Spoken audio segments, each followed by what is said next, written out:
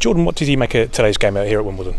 Um, it was a tough game. They made it really uh, hard for us. They just sat in, uh, waited for some mistakes, and um, that's that's the two goals that we give away were from mistakes. Us giving the ball away high, and we're quite open. So um, we uh, we try to play the right way. The gaffer, how the gaffer wants us to play, and uh, we'll keep trying to pass the ball and move, and uh, hopefully we can uh, perform even better than today.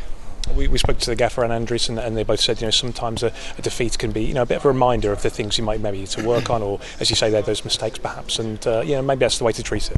Yeah, we've had games already, and in training we've been really good in passing the ball, and uh, today is against a tough opponent um, who probably know how we play, and uh, and today they capitalised on it, and uh, they got the two goals.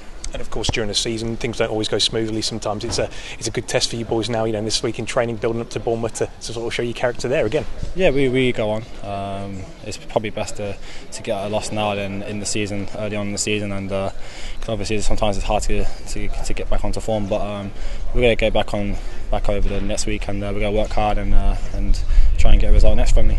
And of course, I mean Bournemouth here, a Premier team that did very well in the Premier League last year. They're splashing the cash a little bit. They bought in some big name signings. It's going to be, uh, you know, hopefully a really good, entertaining game, and you know, it'd be lovely to go and get a result against them too. Yeah, it'd be two teams that like to pass the ball, and um, yeah, they signed some unbelievable players, and uh, they're in Premier League for a reason.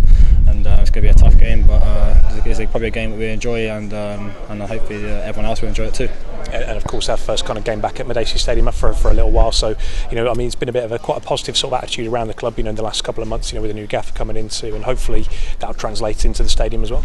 Yeah, it, it, everything takes time. You know, uh, new gaffer, uh, new players, and then trying to gel together, and um, everyone sees that we're trying to we're trying to do the right things, and uh, when we get the when we all gel together, and uh, hopefully we can keep, kick on and kick on, and uh, and take that into the season and and win games.